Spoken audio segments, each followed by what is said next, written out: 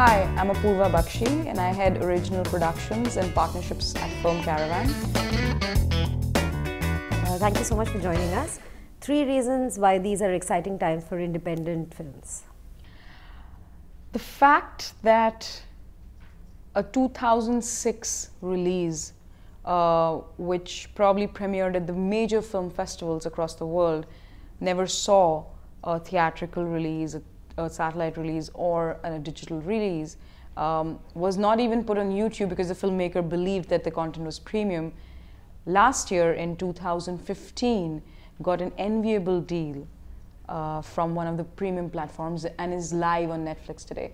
The fact that independent films need to realize that these services are really empowering them with not only revenue potential of making a sale on the film, but making sure that your film is available. The battle of creating a lot of funds for a theatrical release is over. You have another medium. You have an unconventional, disruptive medium to distribute your film through digital. So, as an independent filmmaker, for the first time, your film is being chased, uh, which is an unconven- like that's absolutely unheard of. The third thing is there is money coming into the account. As uh, an aggregator and distribu- distributor of films uh, in the digital space, how challenging is your job? It is very challenging. Um, to be honest, Bollywood sells on its own. Um, there was there's huge demand for it across the world. We Indians are across the world, and there's a lot of diaspora audiences who um, lap up the content.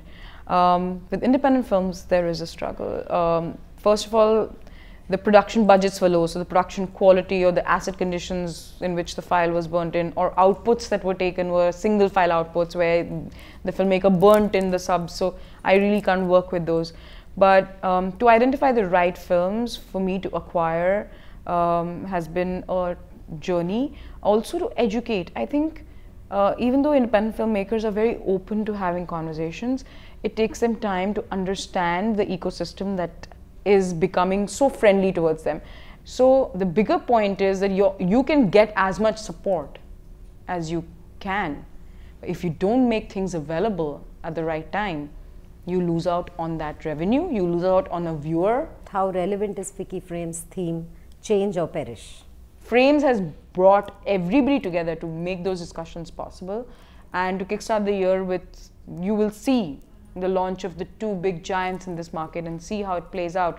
And of course, there are 10 other platforms which who are very relevant, like Vuclip, Libara, all of them are really gunning to grab eyeballs from this market. And let's see who comes out a winner.